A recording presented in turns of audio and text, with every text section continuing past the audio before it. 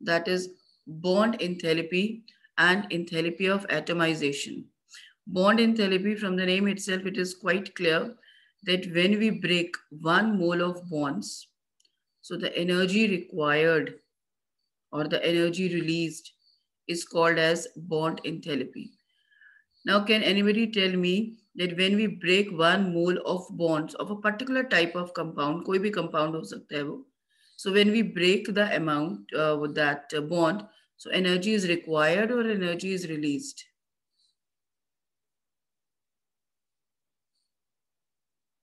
Ma'am, required.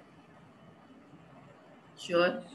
सामने लिखा है इसलिए बोल रहे हो या मैम नो आपने लास्ट क्लास में बताया था मैंने बताया था कि जब बॉन्ड ब्रेक किया जाता है तो एनर्जी रिक्वायर्ड होती है है ना तो इसका मतलब क्या है? The break one mole of bond that is called as bond dissociation enthalpy because here I am talking about breaking of bond कि जब बॉन्ड टूटेगा तो जितनी एनर्जी रिक्वायर्ड होगी that is called as bond dissociation enthalpy और जब bond बनेगा तब एनर्जी रिलीज़ होगी या रिक्वायर्ड होगी?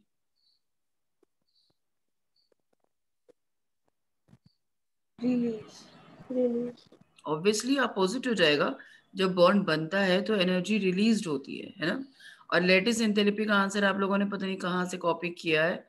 आई एम सॉरी टू से वो बॉन्ड इंथेरेपी का क्वेश्चन आंसर है जो आप लोगों ने लिखा है।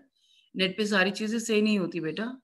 इतना भी यकीन मत करो। और वैसे भी जब हम जल्दी में देखते हैं तो जो फ़र्स्ट आंसर आता है वही लिख लेते हैं। और कई बार वो किसी और कॉन्टेस्ट में दिया गया होता है। तो प्लीज़ एटलीस्ट मुझे नहीं अच्छा लगेगा मेरे बच्चों को अगर चीटिंग करनी नहीं आएगी। कम से कम चीटिंग करना तो अच्छे से सीख लो। ठीक है? तो वो सबने बॉन्ड इंथेरेपी का आंसर लिखा है। लेटेस्ट इंथेरेपी वो नहीं थी। वो मैं आपको चैप्टर थ्री में करा चुकी हूँ। डेफिनेशन इज़ ऑल्सो देयर वहाँ जाइए वहाँ से कॉपी करिए लर्न करिए उसको अच्छे से ताकि नेक्स्ट एग्ज़ाम के लिए वो गलत नहीं हो। So bond enthalpy is the amount of energy required to break one mole of a particular type of bond, the atoms in uh, particular type between the atoms in gaseous states. Like, अगर आप hydrogen H2 है उससे अगर आप तोड़ते हैं 2H दो hydrogen के एटम्स में तो that is called as bond dissociation enthalpy yes but that is also called as enthalpy of atomisation because hydrogen is a diatomic compound कहो या मॉलिक्यूल कहो इसे यहाँ पर इट्स इट्स डायटमिक तो ये अपने ही एटम्स में टूट रहा है because it is breaking in its own atoms that is why इस वक्त जो एनर्जी रिक्वायर्ड होगी that is also called as enthalpy of atomisation तो मतलब क्या हुआ कि when monoatomic compound break down into the bonds. So the energy required is called as bond dissociation in as well as enthalpy of atomisation ठीक है, लेकिन इसके against अगर हमारे पास यहाँ एच टू के बजाय अगर यहाँ एच सी एल होता तो जो बॉन्ड टूटता, जो बॉन्ड ब्रेक होता, वो किसके बीच में ब्रेक होता? हाइड्रोजन और क्लोरीन के बीच में। यानी जो बनने वाले एटम्स होते वो कौन होते? Hydrogen and chlorine in that case that is called as bond enthalpy उस केस में हम उसे क्या बोलेंगे? बॉन्ड इंथेलेपी ही बोलेंगे। वहाँ पर वो इन थेरेपी ऑफ़ एटमाइजेशन नहीं हो सकता। तो मतलब क्या है? कि therapy of atomization is equal to dissociation in same kind of elements जब डिसोसिएशन होता है सेम टाइप ऑफ़ एलिमेंट्स में लाइक एच टू अगर टूटेगा एच और एच में सी एल टू अगर टूटेगा सी एल और सी एल में ओ टू अगर टूटेगा ओ और ओ में एन टू अगर टूटेगा एन और एन में, यानी नाइट्रोजन और नाइट्रोजन में तो that enthalpy that enthalpy is called as enthalpy of atomisation like last in class में we have done Haber cycle और वहाँ पर हमने Cl2 को तोड़ा था ब्रेक डाउन किया था Cl में। क्लियर तो that is called as enthalpy of atomisation वहाँ पर हम उसे इंथेलिपी ऑफ़ एटमाइजेशन कह सकते हैं। And when dissociate there is dissociation in different kind yani heteroatomic compounds that is called as bond enthalpy or bond dissociation enthalpy or bond dissociation energy like for example i'm having methane ch4 तो CH4 में जितने भी bonds बनते हैं वो chlorine और hydrogen sorry carbon और hydrogen के बीच में बनते बने हुए होते हैं तो जो बॉन्ड ब्रेक होगा तो कार्बन हाइड्रोजन के बीच का बॉन्ड ब्रेक होगा That is called as bond dissociation in, in therapy. It is always positive. Why always positive? Because we are saying that this energy is required. So when this energy is required, it will be positive always. So you can say the amount of energy required to break one mole of bonds of a particular type between the atoms in gaseous state is called as bond disso dissociation in therapy. It is always positive. It is extensive property. Why it is extensive property? Because it depends upon number of atoms. कितने number of atoms हैं उसके ऊपर depend करता है. Why I am saying this? see uh, here I have taken the example of water. Water gaseous state में हमारे पास है and we are breaking the bond between the water. आपको पता है कि H2O में किसके बीच में बॉन्ड होता है oxygen in between and then दो बॉन्ड बनाता है वो दोनों हाइड्रोजन के साथ स्ट्रक्चर बना रखा है आपने H2O का, आपको पता है। Lewis dot structure VSEPR theory इन सब में आप बना चुके हो, है ना? तो ऑक्सीजन आपका सेंट्रल एटम होता है, फिर एक हाइड्रोजन के साथ जुड़ता है और दूसरी साइड से दूसरे हाइड्रोजन के साथ जुड़ता है। तो इट मीन्स जब बॉन्ड ब्रेक होगा तो पूरा का पूरा बॉन्ड एक साथ, दो बॉन्ड है इसमें वाटर में दो बॉन्ड है। तो दोनों बॉन्ड एक साथ ब्रेक नहीं होंगे, पहले एक बॉन्ड टूटेगा। तो हमारे पास प्रोडक्ट क्या आ जाएगा? एच एंड ओ एच है ना? और सपोज़ इस in that case the bond dissociation enthalpy is 497.8 kilojoule now this OH H is already in the atomic position ये further break down नहीं हो सकता but OH अभी भी break down हो सकता है अब OH break down होगा into H and O and this time suppose bond dissociation enthalpy is 428.5 kilojoule तो अगर आपसे कोई पूछता है कि वाटर की बॉन्ड डिसोसिएशन एंथैल्पी क्या है? तो आप इन दोनों को प्लस करके टू से डिवाइड कर दोगे means you will calculate the average bond enthalpy so what it means कि जब हमारा जो कंपाउंड है उसमें एक से ज़्यादा बॉन्ड प्रेजेंट होते हैं तो all the bonds break one by one and the average bond in uh, dissociation enthalpy is the average of all the enthalpies or you can say the average of all the हर step में जितनी energy required होगी, उन सबको आप last में plus करोगे and then four से डिवाइड कर दोगे। Like I was telling you the example of methane तो मीथेन में क्या होता है? कार्बन और हाइड्रोजन के बीच में फोर बॉन्ड्स बने हुए होते हैं। तो हर स्टेप में एक हाइड्रोजन टूटेगा और हर स्टेप में कुछ ना कुछ एनर्जी हमें चाहिए होगी। कुछ ना कुछ एनर्जी हम देंगे। तो एट द एंड हम उन सारे स्टेप्स की जितनी भी एनर्जीज हमने दी हैं, उन सबको प्लस करके फोर से डिवाइड करेंगे and then we will get the enthalpy, the bond dissociation enthalpy of methane. Clear? ये बात आपको इस कुछ ये डिफरेंट है इसमें ये थोड़ा सा आपको याद रखना है and when we go from solid to gas जब आप किसी चीज़ की सॉलिड से गैस फॉर्म में जाते हैं like again I will take the example of Born Haber because वहाँ पर हमने क्या किया था हम सोडियम जो था हमारा वो सॉलिड uh, फॉर्म में था और हमने उसे गैशियस फॉर्म में कन्वर्ट किया था ऑलरेडी वो अपनी एटमिक पोजीशन पे तो था, लेकिन हमने उसे गैशियस फॉर्म में कन्वर्ट किया था, आपको अगर याद हो, उसके बाद हमने उसको आयनिक फॉर्म में कन्वर्ट किया था, उसके बाद हमने उसको आयन बनाया था।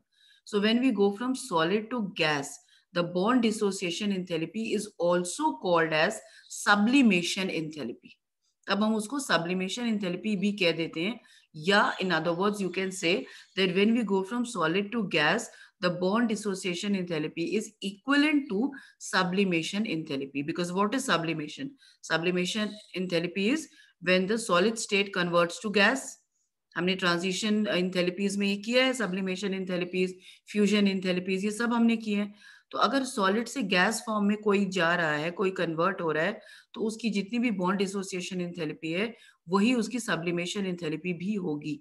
तो हम क्या बोल सकते हैं? हम ये बोल सकते हैं कि कोई चीज़ अगर अपने मोलिकुलर फॉर्म से एटमिक फॉर्म में आ रही है that is called as enthalpy of atomisation as well as bond enthalpy when anything convert from solid to gas that is called as sublimation enthalpy as well as bond dissociation enthalpy and when one mole of any compound break down into its atoms in the gaseous state that is also called as bond dissociation enthalpy तो ये तीनों ही चीज़ें जो हैं वो bond dissociation enthalpy कहलाती है तो आपको यहाँ पर इन चीज़ों का ध्यान रखना है What are the applications of bond dissociation enthalpy? So the first application is it is used to calculate the enthalpy of reaction. Enthalpy of reaction हमें कैसे पता चलेगा the formula is enthalpy of reaction is equal to submission of bond enthalpies of reactant I think मैंने आपको starting में ही बता दिया था कि जितनी भी इंथेलेपी चेंज आप निकालेंगे in every enthalpy change we are going to subtract the enthalapies of product minus enthalapies of reactant this is only there is only one enthalpy where we subtract the enthalpy of product from the enthalpy of reactant so this is that enthalpy इसी इंथेरेपी की मैं बात कर रही थी। Bond dissociation इंथेरेपी में आप reactant की इंथेरेपीज में से प्रोडक्ट की इंथेरेपी को माइनस करते हैं। जितनी भी इंथेरेपी रिएक्टेंट की होगी रिएक्टेंट साइड में एक आपके पास है रिएक्टेंट या दो हैं या तीन है या चार है, उन सब की इंथेरेपीज को आप प्लस कर देंगे और उसमें से प्रोडक्ट की इंथेरेपी को आप सब्ट्रैक्ट करेंगे। This is the only enthalpy in which we subtract the product from reactant बाकी सब में सेम फॉर्मूला रहता है आपका रिएक्टेंट ही सब्ट्रैक्ट करते हो आप प्रोडक्ट में से। Now we will take one example calculate the enthalpy change for the following reaction. My suggestion is, whenever i explain you any numerical or any question, आप लोग साथ साथ खुद किया करो। तो पता भी चलेगा कहाँ अटक रहे हो, कहाँ प्रॉब्लम आ रही है। एग्ज़ाम में प्रॉब्लम नहीं आएगी और उससे रिलेटेड क्वेश्चंस करना भी इजी हो जाएगा। और एक बार दिमाग में बैठ जाएगा तो फिर निकलेगा नहीं। So this is the question I think ये आपकी बुक का ही क्वेश्चन है। मैंने तो यहाँ पे सिर्फ़ क्वेश्चन लिया है, मैं आपको बताती हूँ ये कौन सा क्वेश्चन है। The question is, calculate delta hr for the reaction. यही क्वेश्चन है जो मैंने लिखा है। बुक में देखना एनसीआरटी का ही है। इंटेक्स्ट है या बैक है, मुझे ध्यान नहीं है। But I think intext question है।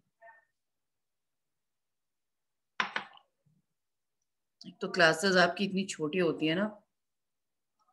ना कम टाइम होता है, जल्दी खत्म हो जाता है। So this is the question we have to calculate the enthalpy change for the following reaction this is the reaction what it is C H two double bond C H two मतलब क्या compound है ये? इसे मैंने open करके लिखा है structure को जिससे कि हमें पता चले कितने बॉन्ड्स है। But otherwise C H two C H two क्या हुआ ये? सी टू एच फोर क्या होता है C two H four C two H four किस यस इथीन इतना टाइम ओके सो इथीन जो है ऑक्सीजन से रिएक्शन कर रहा है यहाँ हमारा। और हमारे पास प्रोडक्ट क्या बन रहे हैं? ऑक्सीजन से रिएक्शन मतलब combustion so obviously products will be carbon dioxide and water but यहाँ पर मैंने उसे ओपन करके लिख लिया है जरा सा क्यों? क्योंकि हमें क्वेश्चन में दिया हुआ है कि when carbon and hydrogen the bond enthalpy of carbon hydrogen is 414 kilojoule per mole ये ये हमें गिवन है कि कार्बन हाइड्रोजन का बॉन्ड जब टूटता है तो 414 किलो जूल पर मोल एनर्जी हमें रिक्वायर्ड होती है। ऑक्सीजन ऑक्सीजन का बॉन्ड टूटता है तो 499 कार्बन ऑक्सीजन का बॉन्ड टूट रहा है तो 724 ऑक्सीजन हाइड्रोजन का बॉन्ड टूट रहा है तो 460 एंड कार्बन कार्बन का बॉन्ड टूट रहा है तो 619 this is the amount of energy required और you can say this is the bond dissociation enthalpies of these bonds now what we have to do we have to check here कि यहाँ पर कितने hydrogen carbon hydrogen bond है।